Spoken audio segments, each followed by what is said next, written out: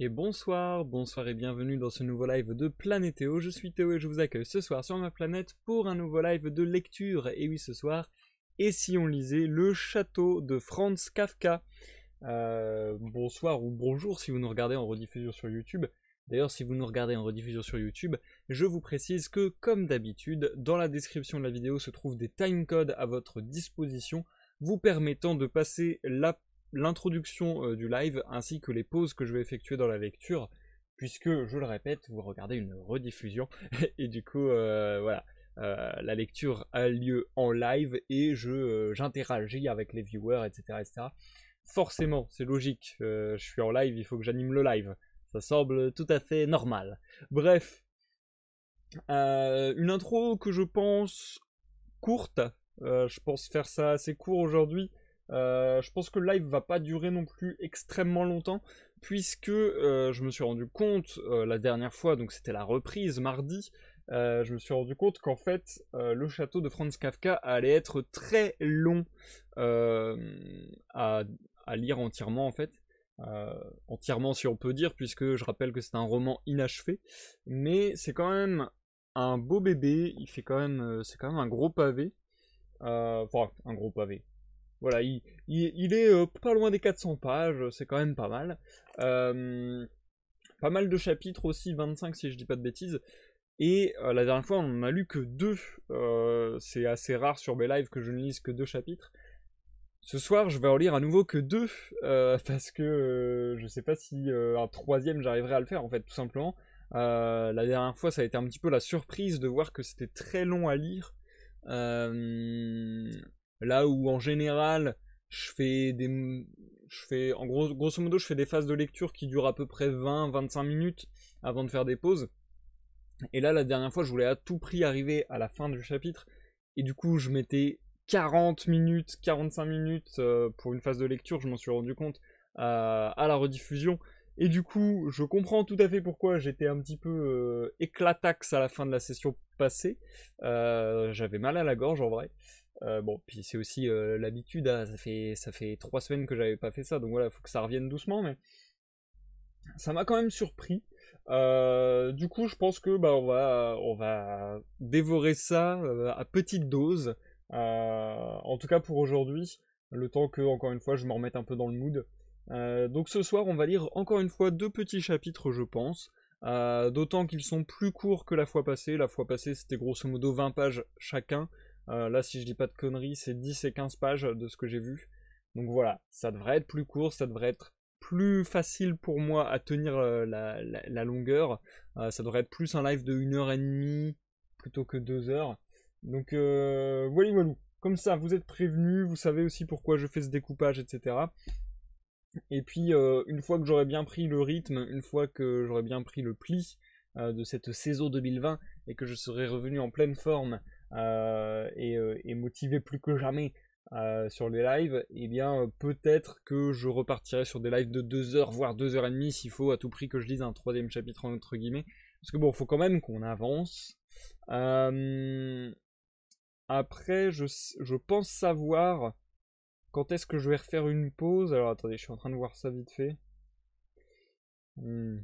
Ouais, bon, je vais pas regarder ça en live, mais je pense qu'on aura le temps de terminer le château de Franz Kafka avant que je ne refasse une pause dans les lives. Euh, pause qui durera pas longtemps, hein. je pense que ce sera l'affaire de 3-4 jours. Mais vous savez qu'en général, je prends 3-4 jours de pause par mois. Donc, euh, ouais. Je pense qu'on aura le temps de finir le château de Franz Kafka avant ma prochaine pause. Et, euh, et si c'était pas le cas, peut-être que je ferais un petit speed-up justement en faisant des lives un peu plus lourds pour terminer. Pareil, j'aime bien finir sur un bon gros live pour terminer un petit peu en apothéose une lecture. Et euh, voilà, comme ça vous êtes au courant de ce que je prévois pour cette lecture. pour la lecture suivante d'ailleurs, j'ai pas forcément énormément d'idées. Il va falloir que je rachète des bouquins, donc c'est toujours un petit peu chiant. Euh, j'avais peut-être éventuellement une idée, ça serait de lire, euh, de lire, de lire Cyrano de Bergerac d'Edmond Rostand, mais euh, c'est un peu embêtant. Enfin, c'est un peu embêtant. C'est un peu stressant en cela qu'il s'agit de théâtre et que bah voilà, j'ai pas la prétention d'être un acteur. ça a jamais été le but de mes lives et je sais pas si autant le roman, la nouvelle, euh, le conte, euh, la poésie, je trouve que ça se prête assez bien à la lecture à voix haute en live. Autant le théâtre, je sais pas trop comment je pourrais le faire et je sais pas trop si ça va bien matcher. Euh, je sais pas aussi si par exemple, des trucs à la con, mais je sais pas si par exemple, je vous fais le texte en imitant les personnages, et euh, si c'est le cas, est-ce que je vous dis ou non quand une phrase commence, quand une euh, appelle ça, quand une tirade commence, euh, si bah, c'est tel ou tel personnage qui la lit, enfin qui la, qui l'exprime. Donc voilà, j'ai un peu des questionnements sur tout cela, mais en même temps c'est vrai que le théâtre c'est l'un des derniers genres, bon j'exagère, mais c'est l'un des derniers grands genres euh, littéraires que j'ai pas forcément fait euh, en live. Mais en même temps, voilà, c'est un, un, format particulier et euh, je suis très curieux d'essayer. Mais en même temps, j'ai peur que ça marche pas trop bien en live. On verra. On verra. en tout cas, si ça vous botte, n'hésitez pas à le faire savoir. Comme ça, moi, ça me, ça me motive aussi à m'y mettre et à m'y pencher à ce, à ce problème épineux qui me prend la tête. Mais, euh, mais voilà, comme ça vous êtes un petit peu au courant euh, de mes envies et de mes ambitions euh, pour la suite. et puis sinon, bah, je dirais acheter d'autres œuvres. on a encore pas mal d'œuvres, l'air de rien, sur la liste qu'on avait effectuée en 2019. Donc je pense que j'ai encore de quoi faire. mais il va bientôt falloir que je recherche de nouvelles œuvres et bah, ça devient de plus en plus compliqué parce que des œuvres on va dire, classique, euh, dans le domaine public, grand public, etc., il n'y en a pas, il y en a pas, il y, a des milliards. En vrai, il y en a beaucoup. Mais c'est compliqué de trouver ceux qui vont être dans mes goûts, ceux que je vais sentir bien passer en live, etc., euh, etc. Enfin, ouais. C'est, quand même... Euh, faut y aller à tâtons. Donc voilà, ça demande quelques recherches. Sur ce, je vous invite à vous installer bien agréablement, chers amis, apprendre à manger, à boire peut-être, à vaquer à vos occupations en toute quiétude. Je vous souhaite la bonne santé. Et je pense que, euh, toujours dans cette logique de faire des lives efficaces, n'est-ce pas On va se lancer dans la lecture sans plus attendre. En ce moment, j'ai... Enfin, euh, j'arrête pas de le dire, hein, mais depuis la reprise euh, de ce mardi, donc mardi 7 janvier, si je dis pas de bêtises, j'ai l'impression de galérer.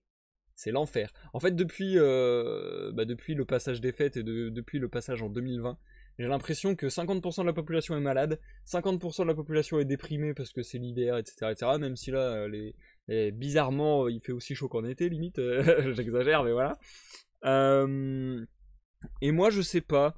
J'ai l'impression que je suis ni malade ni déprimé, juste. J'ai archi du mal à me remettre dans ma routine euh, que j'avais laissé euh, ces quelques semaines de fête. Euh, du coup, routine de musique, routine de live, routine d'écriture, routine de, de tous les projets que je peux avoir euh, hors live. Et même routine de vie, si je puis dire. Et j'ai l'impression de, bien bien galérer. Et même là en live, j'ai l'impression de galérer à parler, à animer, etc. et à être frais et, et pimpant. Enfin bon, je fais de mon mieux, je vais essayer de rendre la lecture comme d'habitude euh, de la meilleure qualité que je puisse. Et puis on va essayer de faire ça bien. On part donc pour le chapitre 3, chapitre 3 qui se titre Frida et qui est un peu plus court que les chapitres précédents. La dernière fois on s'était, arrêté sur euh, bah voilà, cette, cette introduction d'histoire un petit peu étrange, un petit peu lugubre presque, euh, d'un homme nommé K, le narrateur. non d'ailleurs c'est pas le narrateur, d'un homme nommé K, le personnage principal plutôt, euh, qui, euh, voilà, qui semble se perdre ou se balader, on sait pas trop, euh, dans un village un petit peu spécial, un petit peu bizarre, qui réclame à aller au château, qui fait face à des à, des personnages étranges. Alors, en vrai, c'est très dur à, à, décrire, mais voilà, il y a vraiment l'absurdité kafkaïenne dans toute sa splendeur, où on sait pas trop ce qui se passe, mais en même temps il y a une ambiance assez calme mais malsaine. Euh, et donc euh, voilà, on commence à, voir quelques schémas se dessiner de ci de là. le fait que voilà, il y a peut-être une critique de la société moderne, je sais pas trop si on peut dire ça, mais du grand monde de l'entreprise, pareil, je sais pas si on peut dire ça. Enfin bref, en tout cas de la société qui écrase l'individu, qui indifférencie l'individu. donc voilà, c'est très spécial comme ambiance, mais perso, je, trouve ça vraiment réussi et vraiment très cool. Et donc là, on s'était laissé à K qui euh, visitait sa euh, énième auberge euh, et qui était donc accompagné de Olga et qui, à sa stupeur, se rendait compte qu'il y avait le patron, donc un peu le chef entre guillemets, du château, qui était à l'auberge et du coup, ça lui avait laissé une petite impression de, de surprise, de presque choc. Et on va voir euh, ce qui va advenir, je sais pas du tout si on va reprendre là-dessus ou si on va partir sur totalement autre chose. C'est ça aussi le truc très bizarre avec cette lecture, c'est que pour le moment du moins, je trouve, on ne sait pas du tout à quoi s'attendre. Bref, voilà voilou, je vous souhaite à tous une bonne écoute, que vous me regardiez en live ou en rediffusion sur YouTube, et euh, je vous dis à tout à l'heure pour la pause. Chapitre 3 Frida dans la salle, une vaste pièce entièrement vide au milieu, quelques paysans étaient assis contre le mur, sur les tonneaux à côté, mais ils avaient l'air différents des gens de l'auberge de K. Ils étaient plus propres dans leur mise et tous vêtus d'une grosse étoffe d'un gris beige. Leurs vestes étaient amples et leurs pantalons moulants. C'étaient des hommes de petite taille qui, à première vue, se ressemblaient beaucoup, le visage plat et osseux, quoique joufflu. Tous silencieux et presque immobiles, ils suivirent seulement du regard les nouveaux arrivants, mais avec lenteur et indifférence. Cependant, par leur grand nombre et le silence qui régnait, ils firent une certaine impression à K. Il reprit le bras d'Olga pour expliquer ainsi sa présence à ces gens. Dans un coin, un homme qu'Olga connaissait se leva et allait l'aborder, mais du bras qu'il avait passé sous le sien, K la fit pivoter dans une autre direction. Personne à part elle ne put s'en rendre compte, et elle le laissa faire en lui souriant du coin de l'œil. La bière fut servie par une jeune fille nommée Frida. C'était une petite blonde qui ne payait pas de mine, mais elle avait les traits mélancoliques et les joues creuses, mais un regard surprenant par son air de supériorité. Lorsqu'il se posa sur lui, K eut l'impression que ce regard avait déjà réglé certaines choses le concernant, dont il ignorait lui-même l'existence, tandis que ce regard le persuadait de leur existence.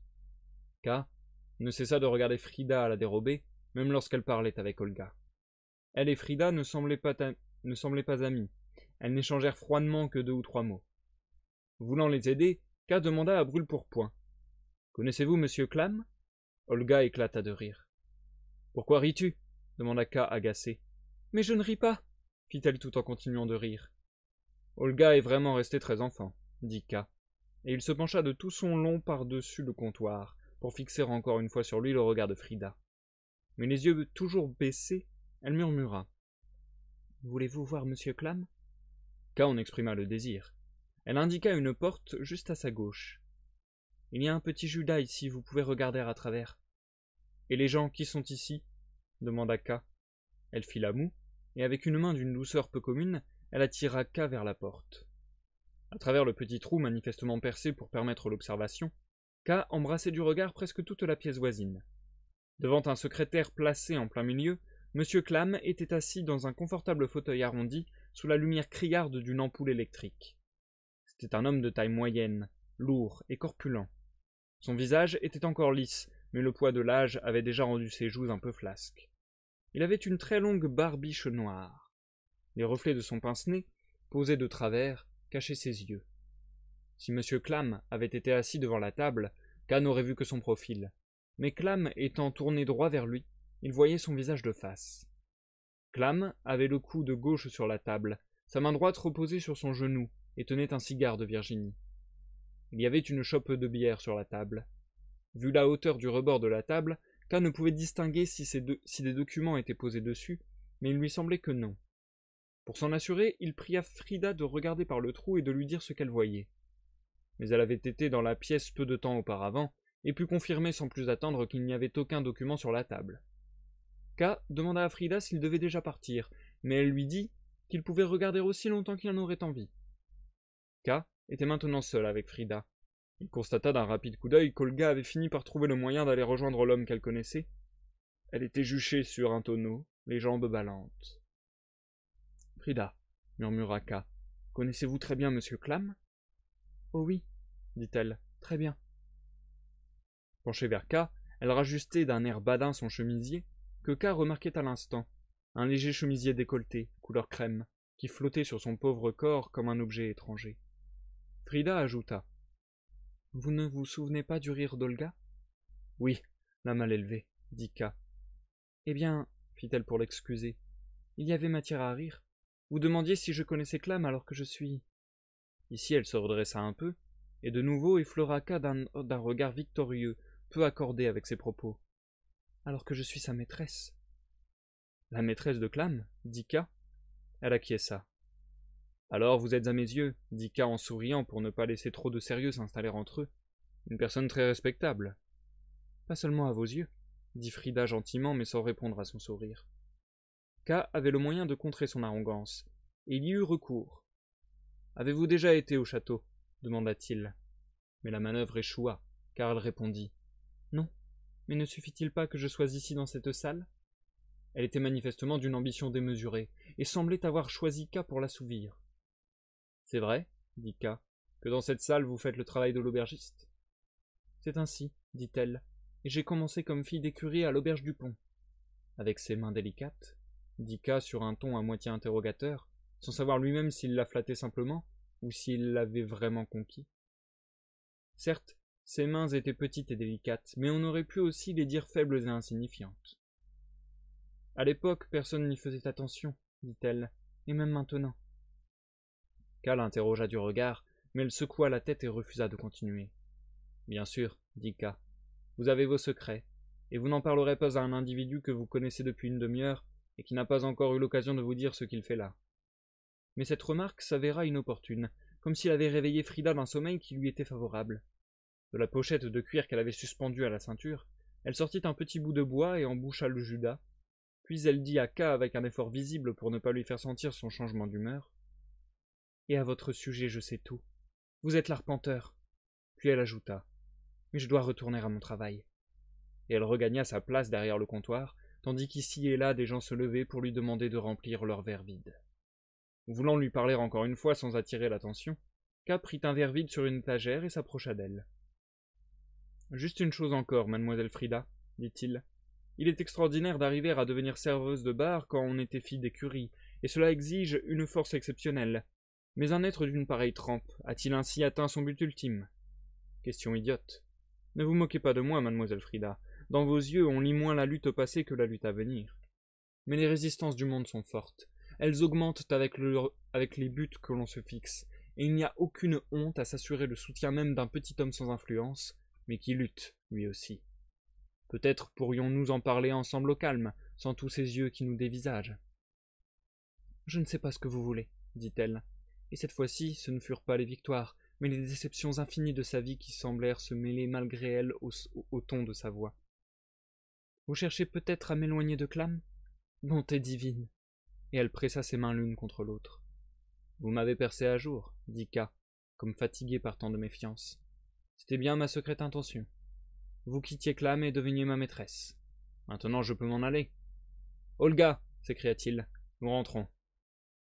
Obéissante, Olga se laissa glisser du tonneau, mais elle ne se libéra pas tout de suite des amis qui l'entouraient. C'est alors que Frida murmura en menaçant K du regard. Quand puis-je vous parler? Puis-je passer la nuit ici? demanda K. Oui, dit Frida. Je peux rester ici dès maintenant? Partez avec Olga pour que je me débarrasse de ces gens. Vous pourrez revenir dans un petit moment. Bien, dit K, et il attendit Olga avec impatience. Mais les paysans ne la lâchaient pas.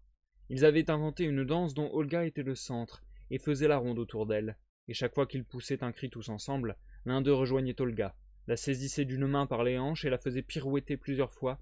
La ronde s'accélérait sans cesse. Les cris rauques et affamés devenaient peu à peu un seul cri, et Olga, qui avait déjà essayé de rompre le cercle en souriant, ne faisait plus que tituber de main en main, les cheveux défaits. Voilà les gens qu'on m'envoie, dit Frida, et elle mordit de colère ses lèvres minces. Qui sont-ils? demanda K. Le personnel de Clam, dit Frida. Il ne cesse d'amener ces gens avec lui, et leur présence me met dans tous mes états. C'est à peine si je sais ce que je vous ai dit aujourd'hui, monsieur l'arpenteur, et si mes propos étaient désobligeants, pardonnez-moi. C'est la présence de ces gens qui en est la cause. Je ne connais rien de plus méprisable et de plus odieux, et ce sont leurs verres que je dois remplir de bière. Combien de fois déjà j'ai demandé à Clam de les laisser chez lui? Si je suis déjà forcé de supporter la domesticité d'autres messieurs, il pourrait quand même avoir quelques égards pour moi. Mais j'ai beau le supplier, une heure avant son arrivée, les voilà déjà qui se ici comme le bétail dans l'écurie. Mais ils vont y aller pour de bon à l'écurie, ils l'ont bien mérité. Si vous n'étiez pas là, j'ouvrirais grand cette porte, et c'est Clam lui-même qui devrait les jeter dehors. Ne les entend-il donc pas demanda K. Non, dit Frida. Il dort. Quoi? s'écria K. Il dort? Pourtant, quand je l'ai vu, il était encore éveillé, assis à sa table. Il est toujours assis comme cela, dit Frida. Même lorsque vous l'avez vu, il dormait. Vous aurais-je laissé regarder autrement? C'était sa position de repos. Ces messieurs dorment toujours beaucoup, on a du mal à le comprendre. D'ailleurs, s'il ne dormait pas autant, comment pourrait-il supporter ces gens? À présent, je vais devoir les jeter dehors moi-même. Elle prit un fouet dans un coin, et comme un petit agneau qui bondit, d'un seul grand bond un peu hésitant, elle fonça sur les danseurs. D'abord, ils se tournèrent vers elle comme si une nouvelle danseuse était arrivée, et de fait on eut un instant l'impression que Frida allait laisser tomber le fouet. Mais elle le brandit de nouveau. Au nom de Clam s'écria-t-elle. À l'écurie Tous à l'écurie Voyant alors que c'était sérieux, ils furent saisis d'une panique incompréhensible pour K, et commencèrent à se presser vers le fond de la salle. Sous la poussée des premiers, une porte s'ouvrit, L'air de la nuit pénétra dans la salle et tous disparurent avec Frida, qui manifestement leur faisait traverser la cour jusque dans l'écurie.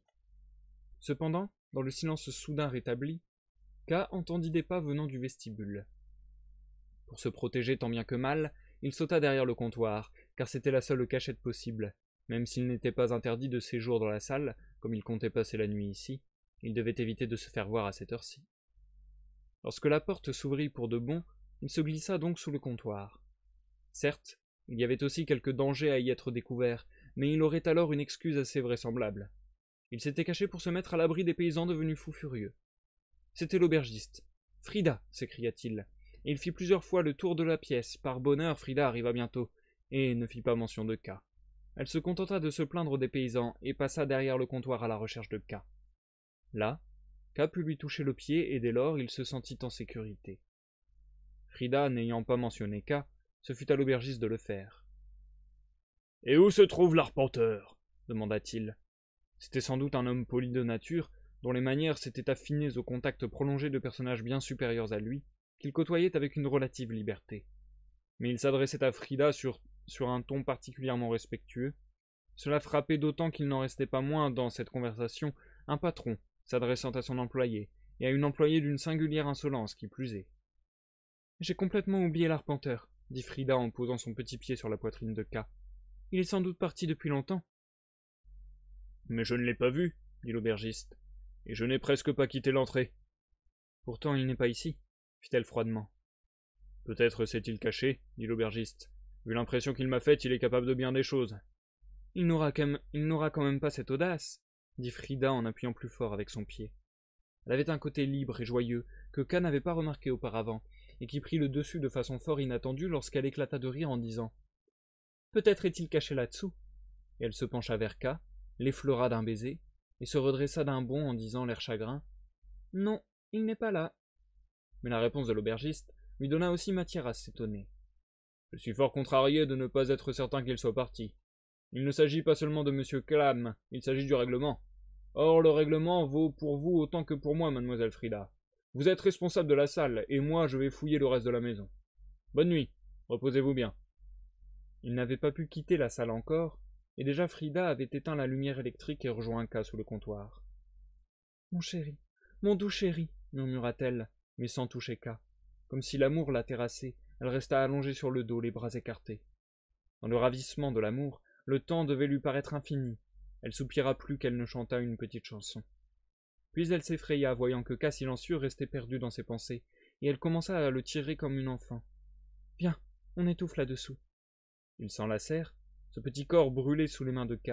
Ils roulèrent quelques pas plus loin en proie à un égarement dont K chercha plusieurs fois mais en vain à s'extraire, vinrent cogner contre la porte de Clam avec un bruit sourd, et restèrent allongés dans les petites flaques de bière et les autres saletés dont le sol était jonché. Là, des heures s'écoulèrent, des heures où ils respirèrent ensemble, où leurs cœurs battirent ensemble, des heures où K, eut sans cesse le sentiment de se perdre ou d'être plus loin en terre étrangère qu'aucun être avant lui, dans un lieu inconnu où même la composition de l'air ne ressemblait pas à sa terre natale, où l'on ne pouvait qu'étouffer de dépaysement, mais dont les folles séductions vous contraignaient pourtant à avancer toujours plus loin, à vous perdre toujours plus loin.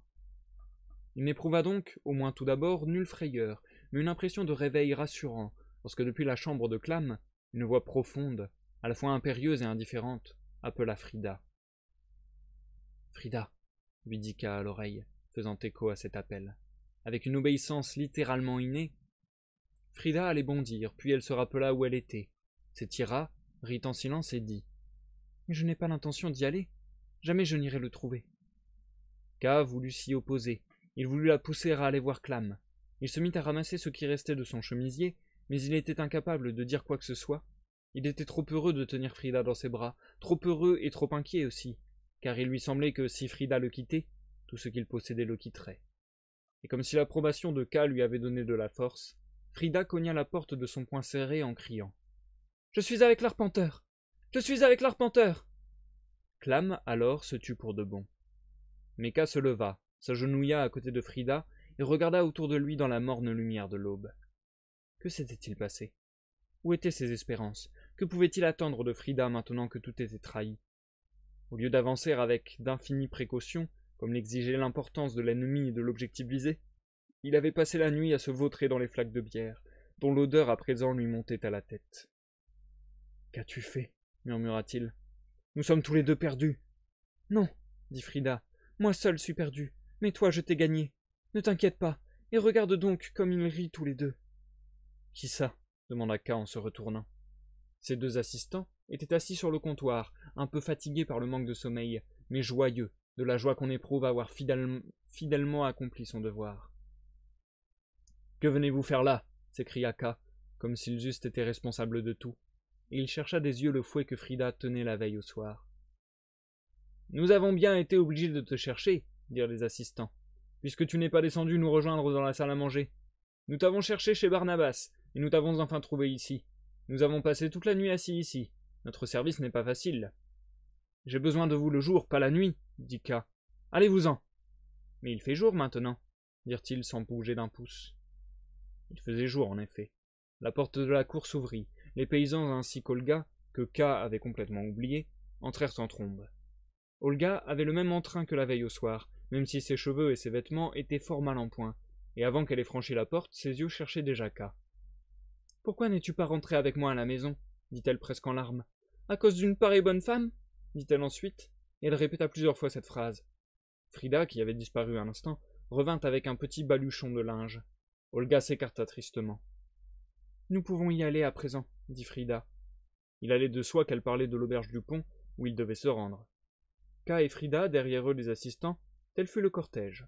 Les paysans manifestèrent à Frida un grand mépris, ce qui se comprenait car elle les avait jusque-là commandés avec sévérité. L'un d'eux prit même un bâton, et fit semblant de ne pas vouloir la laisser partir si elle ne sautait pas par-dessus, mais elle le chassa d'un simple regard. Dehors, dans la neige, K respira un peu. Cette fois le bonheur d'être à l'air libre rendit supportable la difficulté du chemin. Si K avait été seul, tout serait allé mieux encore. Une fois à l'auberge, il alla aussitôt dans sa chambre et s'allongea sur le lit. Frida s'installa pour dormir à côté, par terre. Les assistants étaient entrés à leur suite, ils furent repoussés, mais rentrèrent par la fenêtre. K était trop fatigué pour les repousser une nouvelle fois. La patronne monta spécialement pour saluer Frida. Frida l'appela petite mère. Ses salutations s'accompagnèrent d'incompréhensibles effusions, avec baisers et longues embrassades. D'ailleurs, il n'y avait guère de calme dans la petite chambre. Les servantes chaussées de bottes d'hommes entrèrent plusieurs fois bruyamment pour, apporter ou venir chercher quelque chose. Lorsqu'elles avaient besoin d'un des divers objets entassés, elles le tiraient brutalement par-dessous K. Quant à Frida, elle la saluait comme une des leurs. Malgré cette agitation, K resta au lit toute la journée et toute la nuit.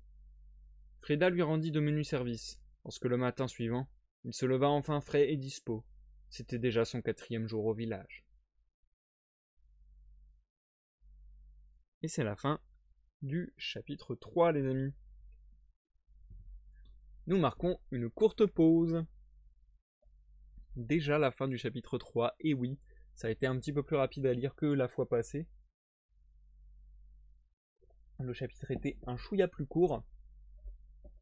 Je vous avoue que moi, ça va me faire du bien parce que, ouais, je, sens vraiment que la reprise est compliquée et que j'ai du mal à lire. Alors, je regarde juste. Ok, c'est bon. Hop. Euh, je sens vraiment que j'ai du mal à lire. C'est assez terrible. Euh, j'espère que ça se ressent pas trop pour vous et que vous arrivez à apprécier la lecture sans trop de soucis. Perso, je trouve ça vraiment cool. L'ambiance est tellement bizarre. Enfin, il y a, tellement de choses qui, qui, sont perturbantes. Euh, là, le, le, passage du temps, encore une fois, est complètement cassé, entre guillemets. Là, on nous dit qu'il est à, à, son quatrième jour au village. Du coup, quatrième jour, et on va passer au chapitre 4. Donc on peut imaginer que c'est à peu près un jour par chapitre jusqu'à présent. Euh, les péripéties qui arrivent à K, si on peut dire ça, sont un petit peu rocambolesques, c'est-à-dire que euh, on a l'impression qu'elles se suivent euh, sans queue ni tête.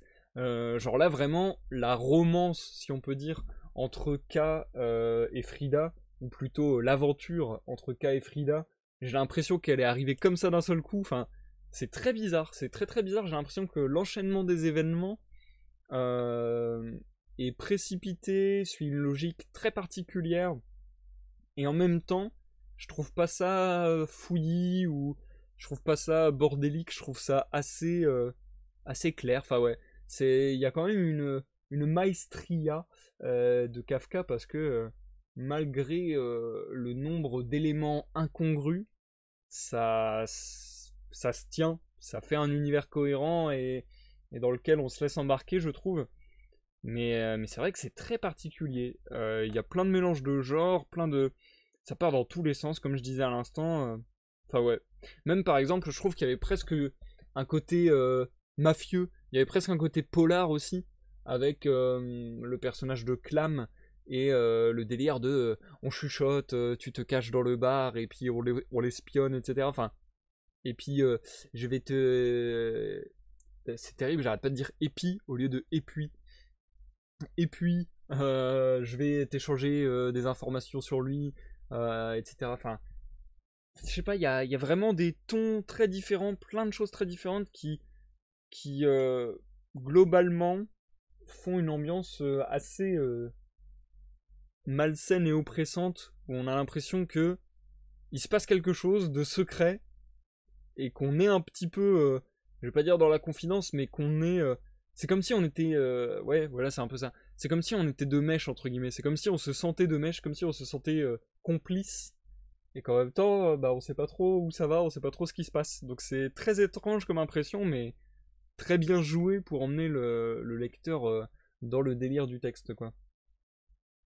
Et du coup, bonsoir, bonsoir et bienvenue Zikael sur ce live. J'espère que tu vas bien, cher ami. Ça me fait plaisir que tu sois là. Et ça va me permettre de parler d'une chose. Euh, il y a l'ami Cora en ce moment qui est en live. Donc, euh, si ça vous intéresse de suivre les lives de Cora, je répète, je suis modérateur sur sa chaîne. Et Cora fait euh, en ce moment du gaming, mais la plupart du temps de la créa, notamment du dessin. Et et j'en parlais avec lui euh, sur son live juste avant que je ne vienne moi-même en live. Euh, apparemment, il y a les points de chaîne qui sont euh, activés d'office sur les chaînes Twitch. Donc là, si vous êtes sur YouTube, ne cherchez pas en bas de votre écran, vous n'allez pas trouver. Mais si vous êtes sur Twitch, normalement, à droite de votre écran, ça va être comme ça parce que je suis en miroir. Donc à droite de votre écran, genre vers là-bas, en bas à gauche, sous le chat, vous devez avoir un truc qui ressemble à une bulle. Ça ressemble à une bulle de savon en soi. Euh, et à côté, vous devez avoir un chiffre, euh, enfin un nombre, euh, qui vous donne le nombre de points de chaîne que vous avez. J'avoue que je me suis pas trop intéressé au système parce que grosso modo, très souvent, tout ce qui est mis en place pour, par Twitch, je dois avouer que je trouve ça assez accessoire. par exemple, toutes les extensions, etc. Enfin ouais, je trouve ça assez gadget en général, donc j'avoue que je m'y suis pas encore intéressé. Mais en même temps, c'est une des remises en question que j'ai ces temps-ci, à me dire est-ce qu'il faudrait pas que je m'y intéresse un peu plus pour euh, peut-être euh, donner un coup de jeune à la chaîne, entre guillemets.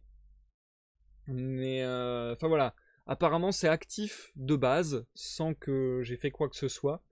Et apparemment, vous pouvez débloquer des petits trucs. Apparemment, pour 100 points, vous pouvez mettre votre message en avant dans le chat. Pour 320 points, vous pouvez débloquer une émoticône d'abonnés au hasard, je crois, si je comprends bien. Pour 350, vous pouvez envoyer un message sur le chat réservé aux abonnés.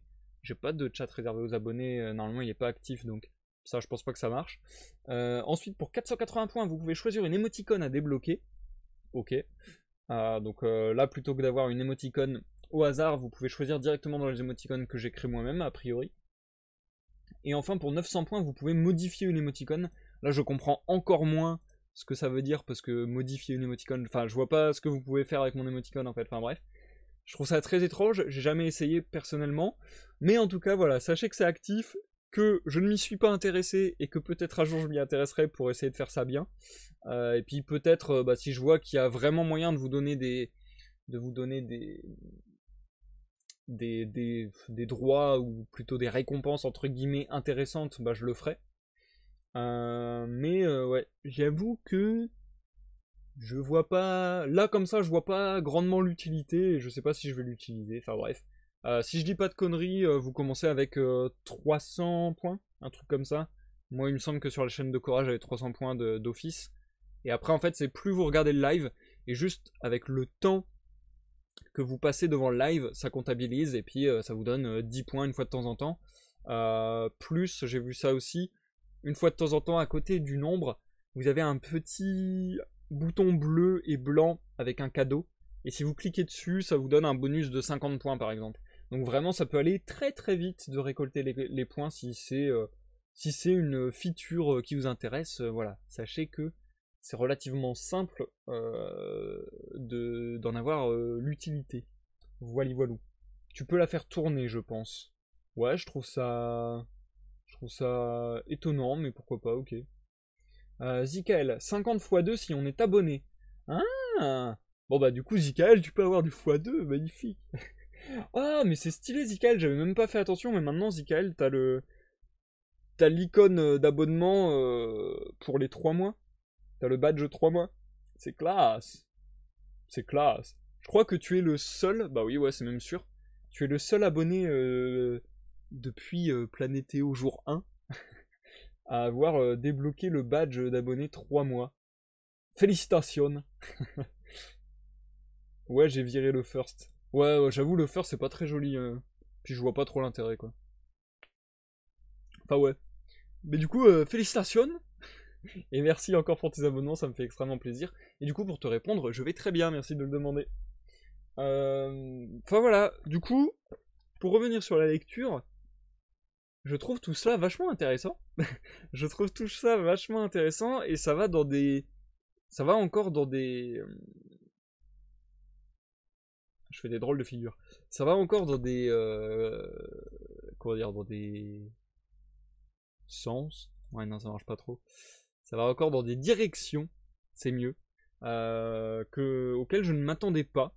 Donc j'ai vraiment hâte de voir la suite. Enfin ouais, je trouve qu'il y a vraiment un côté presque polar et c'est étrange parce que on sent que c'est pas le but de l'œuvre. Enfin, on sent que l'œuvre, en tout cas, ne parle pas euh, euh, d'un crime, d'un meurtre qu'il faudrait élucider, machin. Enfin, du coup, c'est marrant qu'il y ait ce côté polar, etc.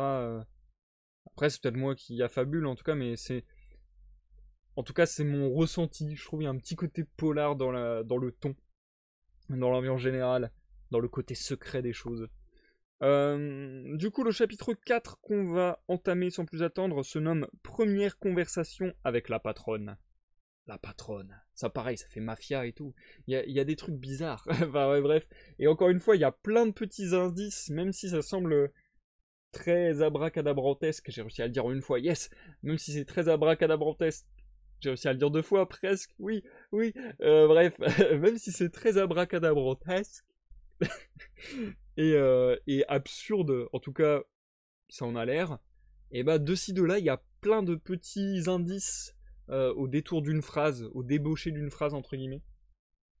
Donc ouais, ça commence à construire une mythologie en creux.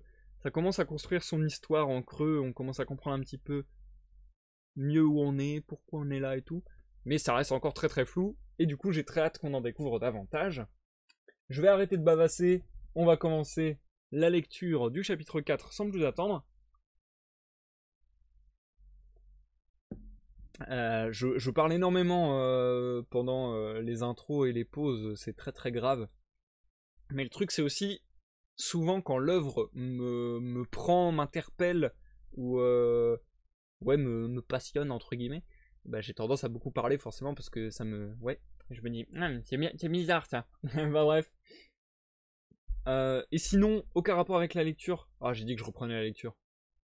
Bon très brièvement aucun rapport avec la lecture, mais j'y pense tant que je parle de passer la chaîne euh, en plus jeune, entre guillemets, de faire une V3, si on peut dire, euh, de la remettre à 9. J'aimerais vraiment. Enfin, est-ce que. Voilà, je vais plutôt vous demander, parce que moi je me dis, l'une des dernières choses sur lesquelles je pourrais hmm, m'améliorer euh, matériellement sur les lives, ça serait la vidéo. Parce que je pense que euh, l'overlay, euh, vous l'aimez, vous l'aimez pas, mais je pense qu'il est de bonne qualité, parce que quand il est en 720p sur YouTube, il apparaît de très bonne qualité et tout. Euh, le micro, je pense qu'il est de bonne qualité, parce que normalement c'est un micro que j'avais acheté à l'époque où j'avais des groupes de musique, donc voilà, c'est un, un, micro de chant, donc normalement c'est un bon micro. Donc voilà, le son, je pense qu'il est suffisamment de qualité aussi. Et du coup, le point qui pêche un petit peu, c'est vrai que c'est pour moi, en tout cas, c'est la vidéo. Et quand j'avais en rediffusion sur YouTube, très souvent, je trouve que c'est très flou. Euh, je sais pas d'ailleurs si, c'est la même sur Twitch parce que bah, je regarde euh, jamais mes je regarde jamais mes lives en live forcément. Mais euh, du coup, je sais pas sur Twitch d'ailleurs si ma webcam est floue. Mais en tout cas, la rediffusion sur YouTube, je trouve vraiment la webcam très floue et et je me dis, les gens qui arrivent sur la, sur la chaîne la première fois, euh, bah peut-être euh, ils regardent 10 secondes et ils se disent ok c'est dégueulasse et au revoir quoi. Euh, en tout cas moi je sais que je pourrais me dire ça parfois, parce que parfois on est con. et, et du coup ouais, je me dis c'est peut-être l'un des derniers trucs matériels que je pourrais améliorer sur les lives, de m'acheter une qualité de webcam supérieure, et puis avoir vraiment du, du HD entre guillemets même sur la webcam quoi. Enfin bah bref. Micro plus important que l'image. Ouais, je suis d'accord avec toi Zikael 100%. Mais après c'est vrai que quand l'image est très détériorée, même en 720p, euh, qu'elle fait très flou. Enfin, après je sais pas, hein, c'est peut-être moi qui, qui suis déjà trop exigeant entre guillemets, mais c'est vrai que sur YouTube j'ai l'impression d'être très très flou quoi. Donc euh, je sais pas, je sais pas, je sais pas. Après il y aurait des réglages de lumière à faire, etc. Là par exemple j'ai changé la lampe de la salle à côté, mais qui m'éclaire pendant les lives, et je trouve que ça dessine beaucoup mieux mon visage et que c'est beaucoup plus euh, qualitate d'un seul coup. Euh, donc euh, ouais. Déjà rien que la lumière ça joue vachement. après je sais pas ce que vous en dites. La plupart des streams tu les as en stream radio. C'est vrai aussi. C'est vrai aussi, c'est vrai aussi. Après vu que je vous tous mes lives vont être disponibles en rediffusion sur YouTube. Je sais pas, mais c'est vrai que t'as vrai que raison, Zikel. Puis même les vidéos YouTube, en tout cas moi personnellement, je regarde beaucoup en mode radio entre guillemets aussi. Ouais. Enfin voilà, c'est la petite réflexion que je me fais. Si vous avez un avis sur la question, n'hésitez pas à commenter sur la chaîne YouTube, voilà. Euh, et puis euh, vous savez que j'ai cette réflexion et on peut en discuter à n'importe quel moment. Voilà.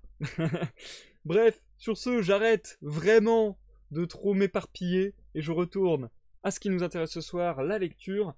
On est reparti pour 20 pages cette fois-ci, donc je pense que je suis parti pour bien 40 minutes au moins de lecture. Euh, donc, je vais prendre mon courage à demain. je vais vous souhaiter une bonne écoute. Je vais m'humidifier la gorge.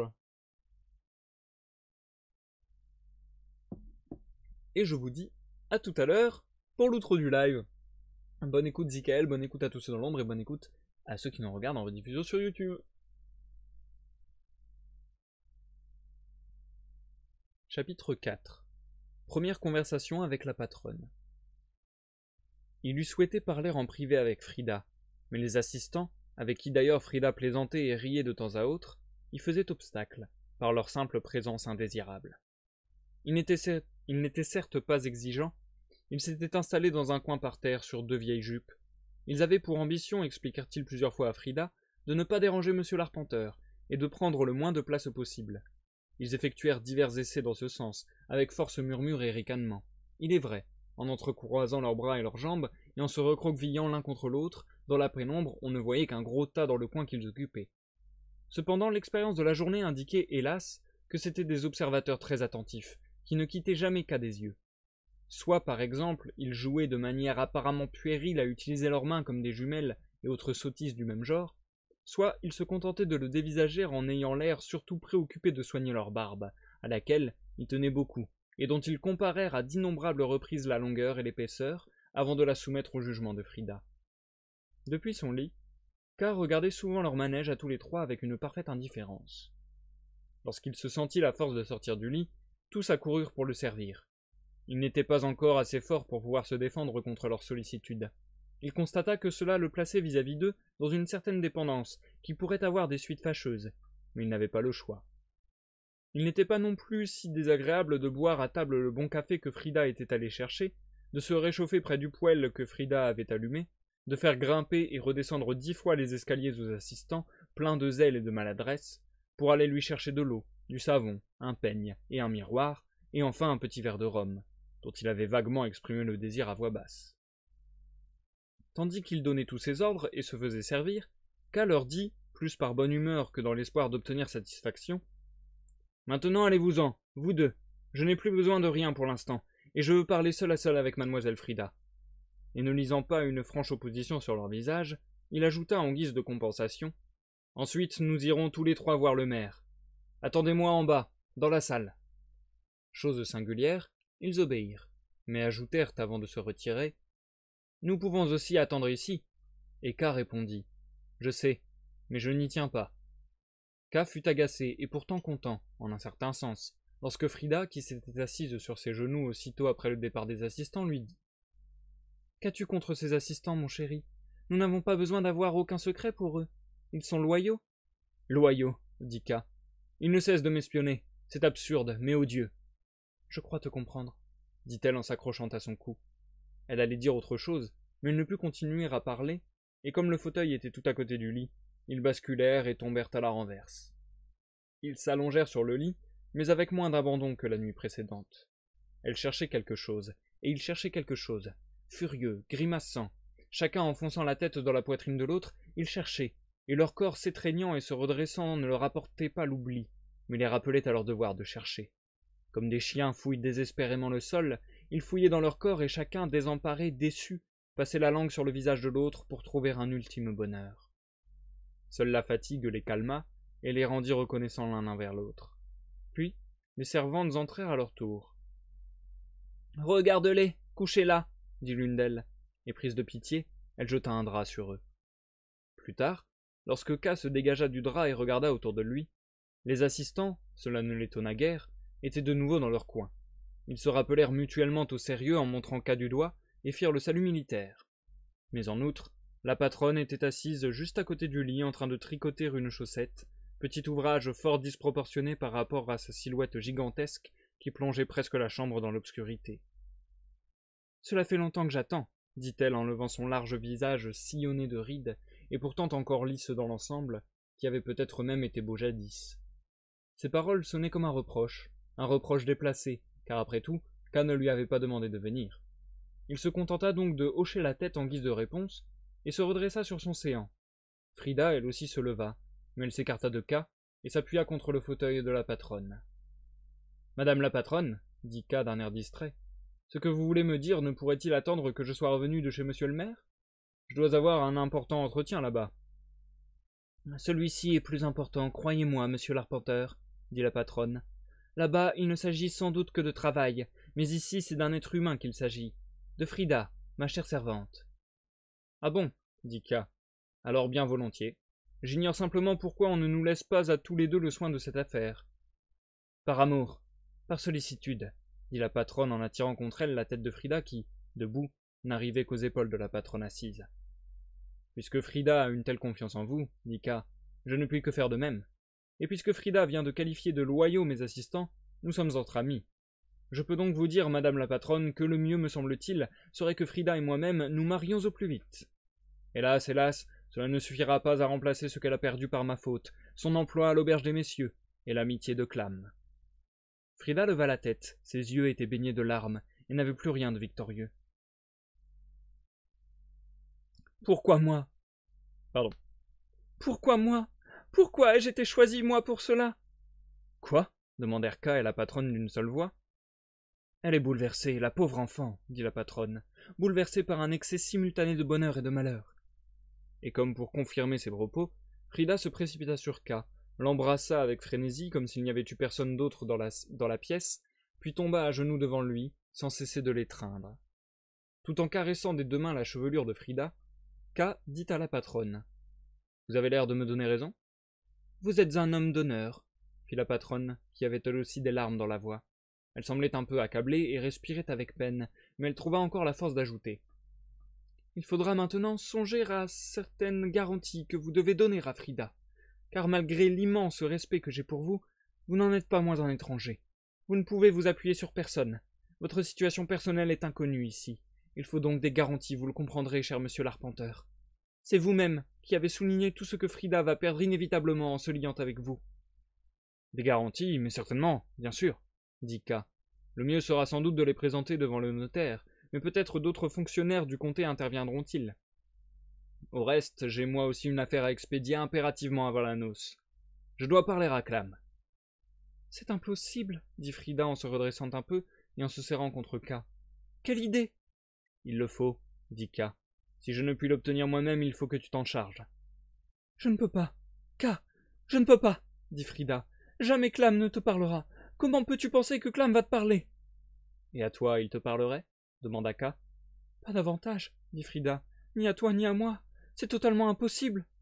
Elle se tourna vers la patronne en écartant les bras. Vous vous rendez compte de ce qu'il demande, madame la patronne? Vous avez des idées saugrenues. Pardon. Vous avez des idées saugrenues, monsieur l'arpenteur dit la patronne. elle était terrifiante, assise comme elle l'était à présent, redressée, les jambes écartées, ses genoux puissants pointant à travers sa fine jupe. Vous demandez l'impossible. Pourquoi est-ce impossible? demanda K. Je vais vous l'expliquer, dit la patronne, d'une voix donnant l'impression que cette explication n'était pas une dernière faveur, mais déjà le premier châtiment qu'elle administrait. Je vais vous l'expliquer très volontiers. Certes, je n'appartiens pas au château. Je ne suis qu'une femme, je ne suis qu'une patronne ici, dans une auberge de dernière catégorie. Pas de toute dernière catégorie, mais presque.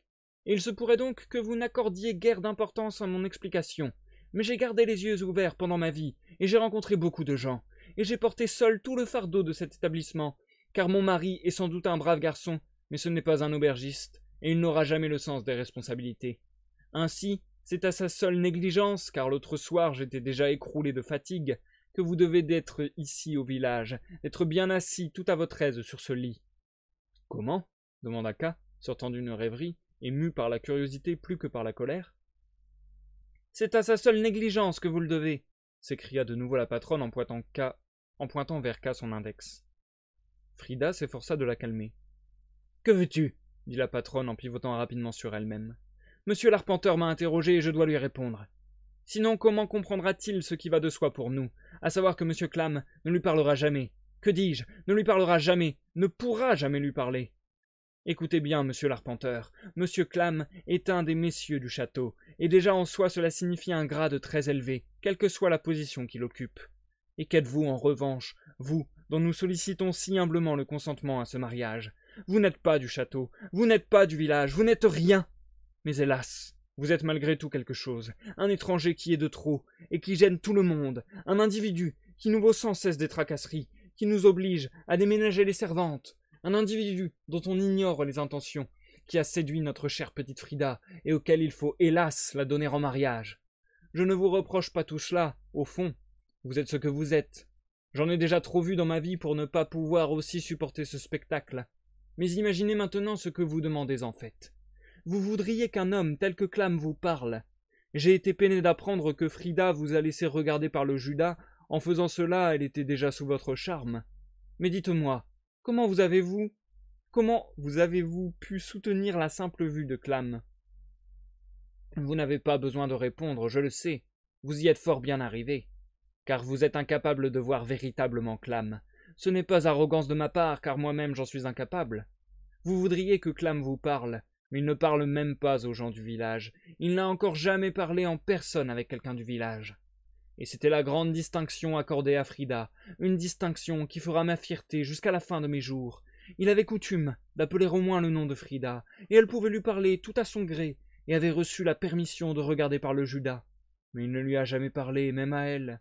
Et même s'il appelait parfois Frida, cela n'a pas forcément le sens qu'on aimerait lui donner. Il lançait simplement le nom de Frida, qui connaît ses intentions.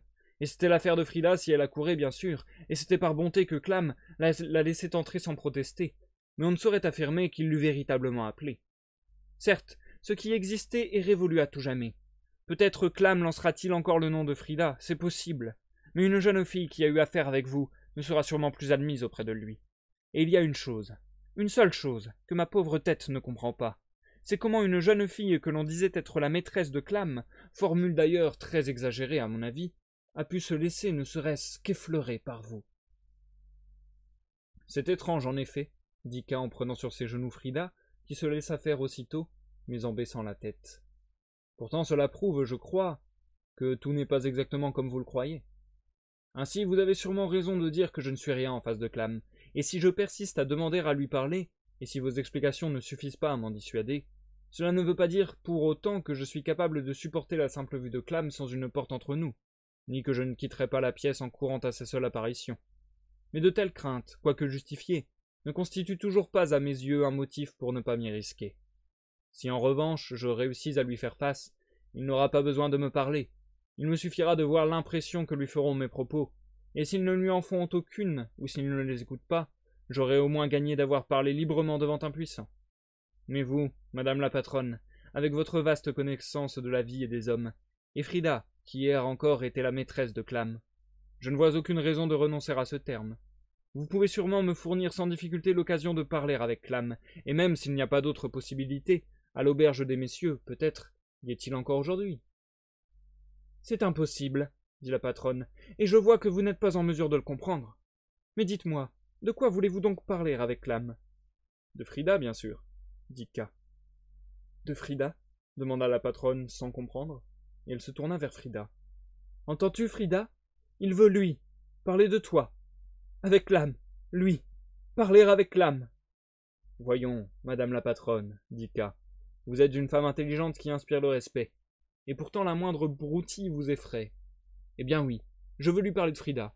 Il n'y a pourtant là rien de si monstrueux, cela va plutôt de soi. Car vous vous trompez certainement aussi. Si vous croyez qu'à la minute où j'ai fait, pardon, si vous croyez qu'à la minute où j'ai fait mon entrée, Frida a perdu toute importance aux yeux de Clam. Vous le sous-estimez, si vous croyez cela. Je sens bien qu'il est présomptueux de ma part de prétendre vous instruire là-dessus, mais je n'ai pas le choix. Rien dans les relations de Clam et de Frida n'a pu changer de mon fait. Soit il n'existait aucune relation essentielle entre eux, et c'est en fait ce que disent les gens qui refusent à Frida le titre de maîtresse. Et dans ce cas, il n'y en a pas davantage aujourd'hui ou bien au contraire cette relation existait. Et comment pourrais-je alors, moi qui ne suis rien aux yeux de Clam, comme vous le dites si bien, comment pourrais-je alors le troubler, la troubler? Ce sont des choses que l'on croit dans un premier élan de frayeur, mais quelques secondes de, réflexion suffisent pour y voir clair. D'ailleurs, laissons maintenant Frida donner son avis. Le regard flottant dans le lointain, la joue contre la poitrine de K, Frida répondit. La mère a sûrement raison. Clam ne veut plus entendre parler de moi. Mais ce n'est pas à cause de ta venue, mon chéri. Voilà qui est sûr, rien de tel n'aurait pu l'ébranler. Je soupçonne que c'est son œuvre si nous nous sommes retrouvés là-bas sous le comptoir. Béni, non pas maudite soit cette heure. Si ce que tu dis est vrai, fit K lentement, car les paroles de Frida étaient douces, et il ferma les yeux quelques secondes pour s'en laisser pénétrer. Si c'est vrai, il y a encore moins de raison de craindre une entrevue avec Clam. Vraiment, dit la patronne en regardant K avec dédain. Vous me rappelez parfois mon mari. Vous êtes aussi obstiné et aussi puéril que lui. Vous êtes au village depuis deux ou trois jours, et déjà vous prétendez savoir tout mieux que les gens du lieu Mieux qu'une vieille femme contre moi et que Frida qui en a tant vu et tant entendu à l'auberge des messieurs Je ne nie pas qu'il soit possible d'arriver à quelque chose une fois ou l'autre, en faisant fi des règlements et de la tradition. Je n'ai jamais rien vu de tel, mais il y en a, paraît-il, des exemples. C'est possible. Mais alors les choses ne se passent sûrement pas de la façon dont vous procédez, en ne cessant de dire non et non, et en ne jurant que par vous-même, et en négligeant les conseils les mieux intentionnés. Croyez-vous que je me soucie de vous? Me suis-je préoccupé de vous tant que vous étiez seul, même si c'eût été bénéfique et eût permis d'éviter bien des déboires. Je n'ai dit qu'une chose à mon mari, garde tes distances, et je m'en serais tenu là aujourd'hui encore si Frida ne s'était pas trouvée entraînée dans votre destin. C'est à elle que vous devez mon intérêt pour vous, que cela vous plaise ou non, et même ma considération. Et cela vous ne pouvez pas vous contenter de m'envoyer promener, car vous êtes strictement responsable devant moi, qui suis la seule à veiller sur la petite Frida, avec une sollicitude maternelle. Il se peut que Frida ait raison, et que tout soit arrivé par la volonté de Clam, mais je ne sais rien de lui à l'heure actuelle. Jamais je ne lui parlerai. Il m'est totalement inaccessible, tandis que vous, vous êtes assise ici, vous tenez ma Frida tout comme. Pourquoi devrais-je le taire, tout comme je vous tiens? Oui, je vous tiens, jeune homme, car essayez, si je vous mets à la porte, de trouver un gîte où que ce soit dans le village, même dans une niche. Merci, dit K. Voilà qui est parlé avec franchise, et je vous fais entière confiance. Ma situation est donc fort précaire, et celle de Frida aussi, par voie de conséquence. Non, interrompit la patronne furibonde. La situation de Frida n'a rien à voir avec la vôtre de ce point de vue. Frida fait partie de ma maison, et personne n'a le droit de qualifier de précaire sa situation ici. Bien, bien, dit K. Je vous donne aussi raison sur ce point, d'autant que, pour des motifs que j'ignore, Frida semble avoir trop peur de vous pour intervenir. Parlons donc de moi, pour l'instant. Ma situation est extrêmement précaire. Vous ne le niez pas. Vous vous efforcez au contraire de le prouver. Comme pour tout ce que vous dites, cela est vrai en grande partie, mais non en totalité. Ainsi, par exemple, je connais un fort bon lit qui reste à ma disposition. Où ça? Où ça? s'écrièrent Frida et la patronne en chœur, et avec une frénésie telle qu'on eût dit que leurs questions cachaient les mêmes motifs. Chez Barnabas, dit K. Les misérables s'écria la patronne. Les misérables coquins Chez Barnabas Vous entendez? Et elle se tourna vers le coin des assistants. Mais voilà longtemps qu'ils s'étaient approchés, et se tenaient bras dessus, bras dessous derrière la patronne, qui saisit la main de l'un d'eux, comme si elle avait besoin d'un appui. Vous entendez où monsieur va traîner? Dans la famille de Barnabas? C'est évident qu'on lui donne un lit là-bas. Ah Si seulement il avait préféré dormir là-bas plutôt qu'à l'auberge des messieurs. Mais où étiez-vous étiez-vous passé? Madame la patronne, dit K avant même que les assistants répondent. Ce sont mes assistants, mais vous les traitez comme s'ils étaient vos assistants à vous, et mes gardiens. Pour tout le reste, je suis prêt au moins à débattre de vos opinions, mais pas à propos de mes assistants, car là les choses ne sont que trop claires. Je vous prie donc de ne pas leur parler, et si cette prière ne devait pas suffire, je leur interdis de vous répondre. Donc je n'ai pas le droit de vous parler, dit la patronne, et ils éclatèrent de rire tous les trois la patronne d'un rire moqueur, mais beaucoup plus doux que K ne s'y serait attendu. Les assistants de leur façon coutumière, à la fois lourde et vide de sens, d'un air de décliner toute responsabilité.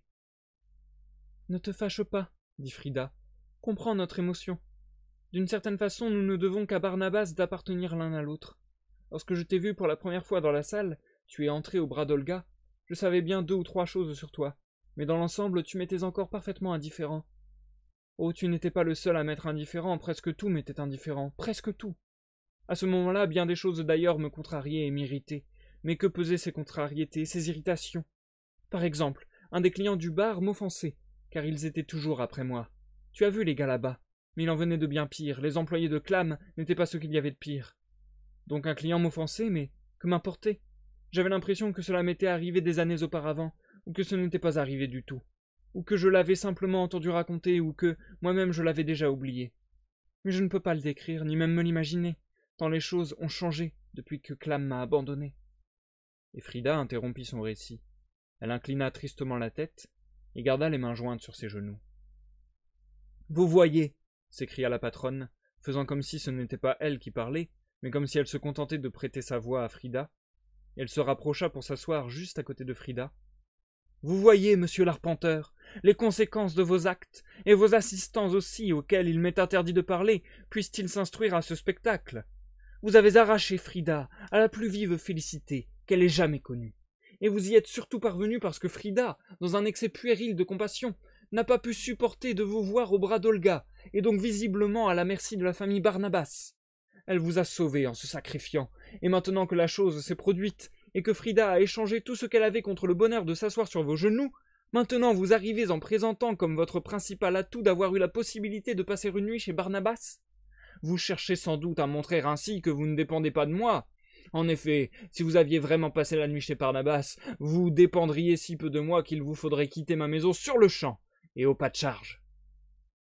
J'ignore les péchés de la famille Barnabas, dit K, en soulevant avec précaution Frida, qui semblait inanimée, et en la déposant lentement sur le lit avant de se lever lui-même. Vous avez peut-être raison là-dessus, mais j'avais sûrement raison lorsque je vous ai prié de nous laisser à tous les deux, Frida et moi, le soin de régler nos affaires. Vous avez parlé d'amour et de sollicitude, mais je n'en ai guère remarqué par la suite. Il y a eu d'autant plus de haine et de mépris, et de mise à la porte. Si vous cherchiez à éloigner Frida de moi, ou à m'éloigner d'elle, vous avez été très adroite, mais je doute que vous arriviez à vos fins. Et si vous arrivez malgré tout, permettez-moi à mon tour de vous adresser une obscure menace. Vous le regretterez amèrement. Quant au logis que vous me procurez, si c'est ainsi que vous désignez ce trou abject, rien ne dit que vous le fassiez de votre propre gré. Il semble plutôt qu'il y ait là derrière un ordre des autorités comptables. Je leur ferai savoir qu'on m'a donné congé ici, et si l'on m'assigne un autre logis, sans doute pousserez-vous un soupir de soulagement, mais moi davantage encore. Et maintenant je m'en vais voir le maire pour traiter de cette affaire, entre autres. S'il vous plaît, occupez-vous au moins de Frida, que vos discours soi-disant maternels n'ont déjà que trop affecté. Puis il se tourna vers ses assistants. Venez, fit-il, et il décrocha la, lettre de Clam et s'apprêta à partir. La patronne l'avait regardé en silence. Elle attendit qu'il eût la main sur la poignée de la porte pour dire. Monsieur l'arpenteur, je veux encore vous donner une chose à méditer en chemin. Car quoi que vous disiez, et quel que soit votre désir d'offenser la vieille femme que je suis, vous n'en êtes pas moins le futur mari de Frida. C'est pour ce seul motif que je veux vous dire qu'au sujet de la situation présente, vous êtes d'une effroyable ignorance. On est pris de vertige à vous écouter, et à comparer en pensée vos propos et vos opinions avec les faits. Il n'y a pas moyen de remédier à cette ignorance d'un seul coup, ni peut-être jamais, mais beaucoup de choses peuvent s'améliorer si vous me croyez un tant soit peu, et ne perdez jamais de vue votre ignorance. Vous serez alors aussitôt plus juste envers moi, par exemple, et commencerez à vous faire une idée de l'effroi que j'ai éprouvé? Les suites s'en font encore sentir, en m'apercevant que, ma chère petite, avait en quelque sorte délaissé l'aigle pour s'unir au serpent. Mais la véritable situation est bien pire encore, et il me faut sans cesse tenter de l'oublier. Autrement je ne pourrais échanger un seul mot avec vous sans perdre mon calme. Mais voilà que vous vous remettez en colère. Non, ne partez pas encore, écoutez encore cette prière. Où que vous alliez, gardez toujours à l'esprit que vous êtes ici le plus ignorant de tous, et soyez prudent. Ici, chez nous, la présence de Frida vous protège, et du coup vous pouvez bavarder tout votre saoul. Ici, par exemple, vous pouvez nous montrer comment vous comptez parler à Clam. Mais dans la réalité, dans la réalité, je vous en prie, je vous en supplie, n'en faites rien. Elle se leva en chancelant un peu sous l'émotion, s'approcha de K, lui prit la main et l'implora du regard. Madame la patronne, dit K. Je ne vois pas pourquoi vous vous abaissez à me supplier pour une chose pareille. Si, comme vous le dites, il m'est impossible de parler avec Clam, c'est donc que je n'y parviendrai pas, que l'on me supplie ou non. Mais si cela s'avérait malgré tout possible, pourquoi devrais-je renoncer? D'autant qu'alors votre principale objection s'effondrerait, ce qui rendrait toutes vos autres craintes fort sujettes à caution. Certes, je suis ignorant, cette vérité demeure de toute façon, ce qui est fort triste pour moi, mais présente aussi un avantage, puisque l'ignorance, puisque l'ignorant est plus audacieux. C'est pourquoi j'accepte volontiers, dans la mesure de mes forces, de supporter encore quelque temps le poids de cette ignorance et de ses conséquences sûrement néfastes. Après tout, je suis pour l'essentiel le seul à les subir, et c'est cela surtout qui m'empêche de comprendre vos supplications. Vous veillerez sûrement toujours sur Frida, et si je disparaissais de sa vue, cela ne peut être qu'une bénédiction à vos yeux. Que craignez-vous donc? Vous ne craignez tout de même pas, quand on est ignorant tout semble possible, et K ouvrit en même temps la porte, vous ne craignez tout de même pas pour Clam par hasard? La patronne le suivit du regard en silence, tandis qu'elle dévalait l'escalier, suivie des assistants.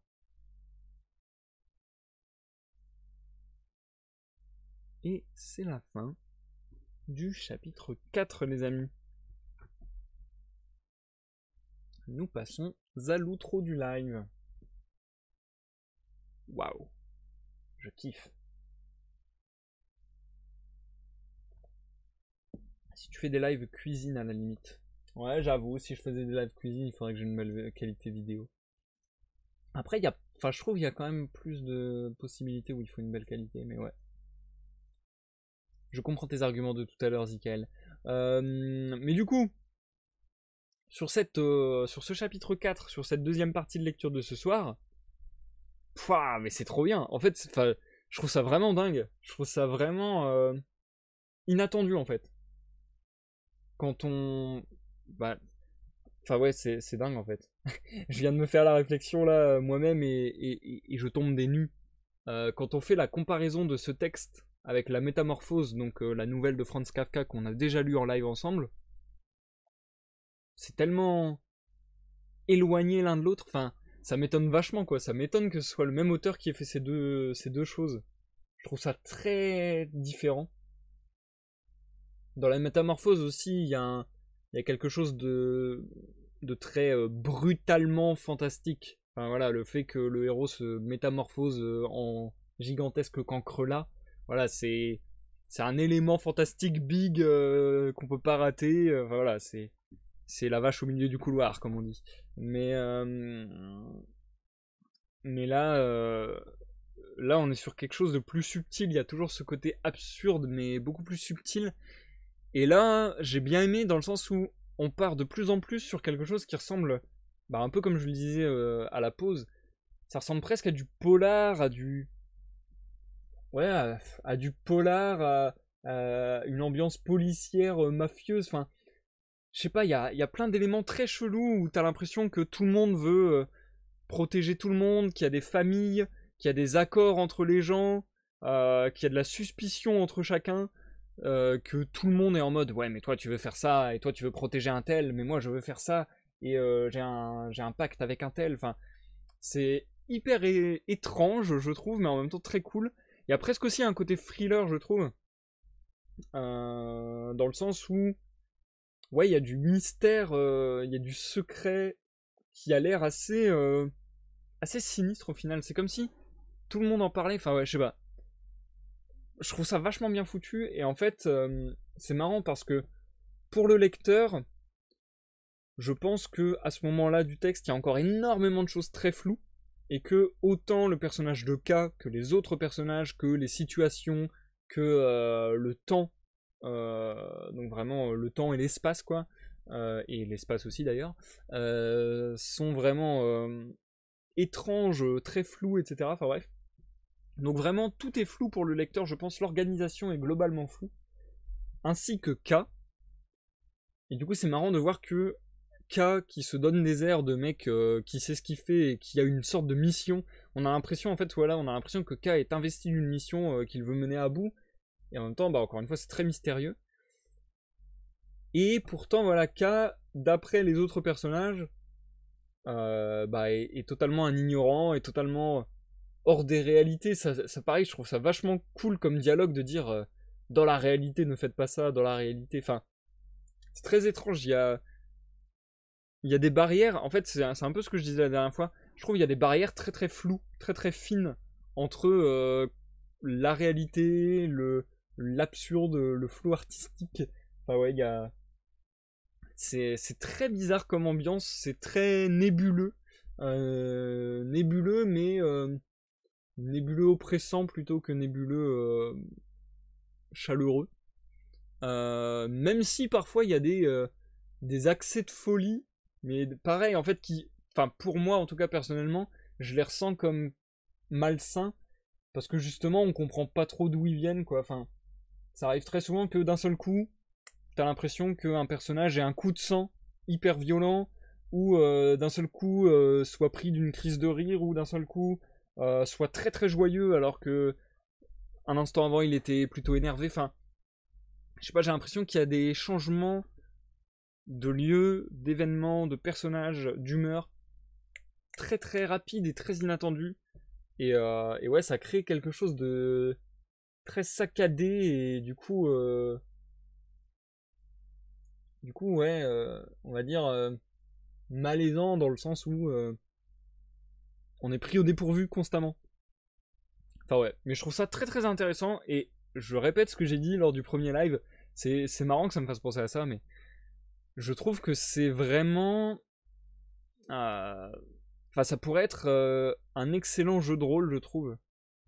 Je trouve qu'il y, a un côté jeu de rôle, enfin je me vois bien masteriser une partie de jeu de rôle euh, avec un scénario un peu euh, absurde où les personnages se baladent et comprennent rien à l'histoire et au fur et à mesure doivent essayer de comprendre un petit peu les indices. Enfin ouais, c'est marrant. Et on a l'impression d'ailleurs que K est un peu dans le même processus que le lecteur à rien comprendre de ce qui l'entoure, mais que juste avec son aplomb et son son c'est pas son courage qui dit mais son audace il me semble à la fin. Bah il arrive à, naviguer euh, dans ce flou artistique. Enfin ouais. C'est vachement vachement stylé. Vachement vachement stylé j'aime beaucoup. Et je trouve aussi qu'il y a un ton euh, beaucoup plus euh, bah là avec les dialogues qu'on a eu avec la patronne je trouve qu'il y a quelque chose de très de très dramatique. Enfin non plutôt de très tragique plutôt donc ouais, du, théâtre tragique entre guillemets quoi. Je trouve que même la manière qu'ils ont les personnages de s'exprimer, c'est très très théâtral et en même temps c'est stylé. Enfin je sais pas.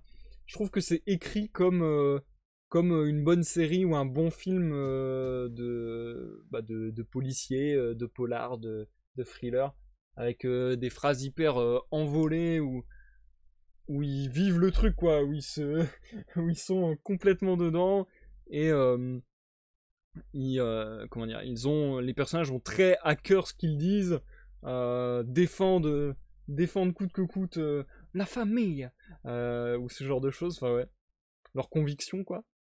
Je trouve ça vachement intéressant ce, ce ton dramatique qui pourrait faire kitsch, qui pourrait faire kitsch, qui est peut-être à la limite parfois de faire kitsch, mais qui dans cette ambiance très glauque très space, très étrange, bah rend vachement bien. Parce que euh, justement ça, accentue euh, peut-être euh, le côté le côté superficiellement grave, je sais pas si c'est très clair ce que je dis, mais super, superficiellement grave de l'atmosphère de la scène. Enfin ouais. C'est assez cool. Franchement, je, je, trouve ce texte très, très étonnant, très étonnant, très différent de tout ce que j'ai pu lire jusqu'à présent. J'ai pas comme, enfin ouais, comme ça, j'ai pas d'exemples qui me viennent en tête de d'œuvres que je connaîtrais euh, similaires. Je trouve que le ton et le genre sont assez inclassifiables et assez euh, dérangeants, mais dans le sens euh, dans le sens perturbant quoi. Bref, le château de Franz Kafka, pour le moment, c'est vraiment cool. Merci à Vavan pour le follow. Euh, merci beaucoup et bienvenue sur ce live. Euh, c'est malheureusement la toute fin du live, mais ça me fait plaisir que tu follow et que tu sois passé. Et je, je m'apprête à vous dire au revoir, chers amis. Le live n'aura duré euh, qu'une heure et quart, un truc comme ça, mais bon. si je repars pour un chapitre, je risque d'être capoute à la fin du live. donc je préfère commencez doucement. La reprise de janvier 2020 se fera dans la douceur et l'allégresse. Et euh, je vais revenir euh, à mon rythme. Je vais essayer de me chauffer de plus en plus au fur et à mesure des jours et des lives. Et, euh, après, bah, normalement, le rythme soutenu. En fait, ouais, je préfère commencer doucement et réussir à remplir mon contrat, c'est-à-dire réussir à faire les lives que j'ai programmés plutôt que de commencer trop fort et dans une semaine vous dire ah bah le live là je l'annule parce que là je peux pas. Donc euh, voilà. Je préfère être régulier.